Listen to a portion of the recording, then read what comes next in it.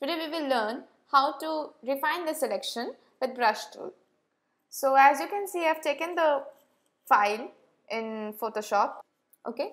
So I will select the bench and bit of grass with quick selection tool the same tool which I have used which I have used in my previous tip. I will take a bit of grass today so that uh, you will be able to know about what is refining the selection. As you can see there is uh, in the selection there is a bit of water body which I don't want. So I just just select alt and just remove the water body selection.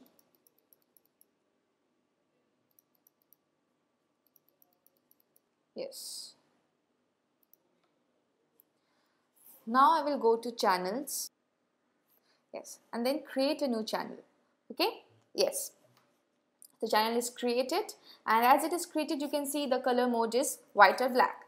I will just color it white. Yes. And then if I go to RGB mode means the picture you will see that the quick mask option is on. And now I will take the brush tool. Now before taking the brush tool, I would like to say that when you want to select this selection, for Windows it is control click and for Mac it is command click, right? Yes. So I will deselect the selection by control D for Windows and command D for Mac. Now if my mode is overlay, then I will do this refine selection. But if my mode is normal, what will happen is that if I take the brush tool, it will just simply paint in black. Yes, which I don't want. So I will take the mode to overlay. Don't forget this, take the mode to overlay and then do your refining selection. See, it is just smoothing up the selection. I'm zooming it a bit so you can see carefully. Yes.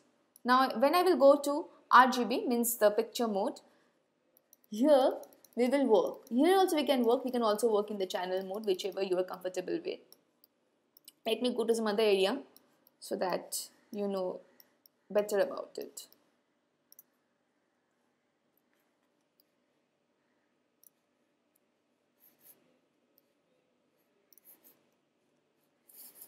We will go to some grass area only here. Yes. See? It is just refining the selection.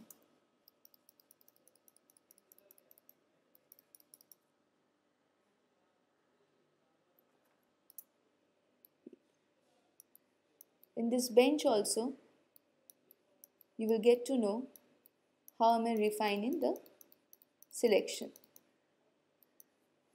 So like this you can refine the selection which you want. Yes, I hope you like this. I hope it will be useful for you.